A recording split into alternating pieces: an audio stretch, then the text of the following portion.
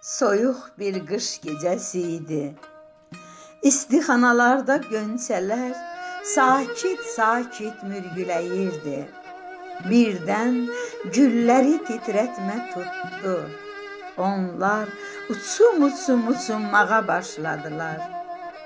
Torpaq ananın da yuxusu qaçdı. Haylədisə, öz qərənfil balalarını ovundura bilmədi. Gönçələr açıldı. Qərənfillərin qanlı köynəyi görünməyə başladı. Onlar danışmaq istəyirdilər. Ancaq dilləri söz tutmurdu ki, tutmurdu. Elə hey dartınır, torpağın köksündən qopmağa çalışırdılar. Birdən möcüzə oldu. Qərənfillər dil açıb danışdılar.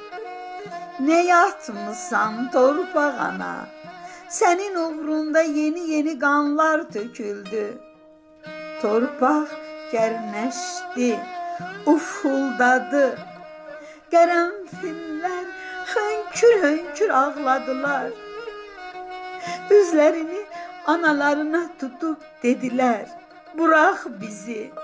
Torpaq ana, indi sakitcə oturmaq mı vaxtımızdır?" Torpaq da dilə gəldi.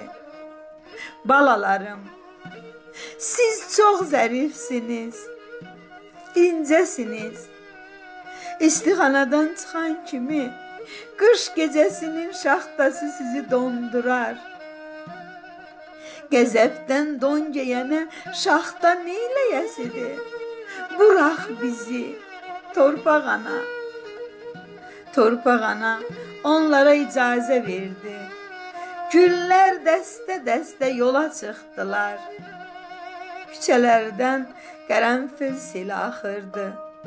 Şəhidlərin qanını öz canına çəkən güllər qıpqırmızı qızarmışdılar.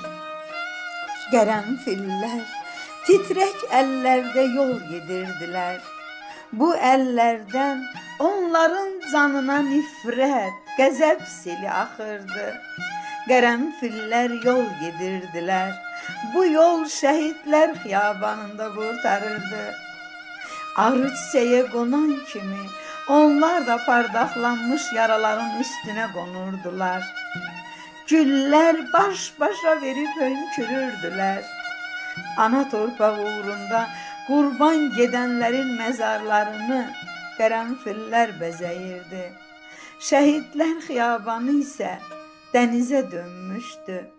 Qərənfillər dənizinə.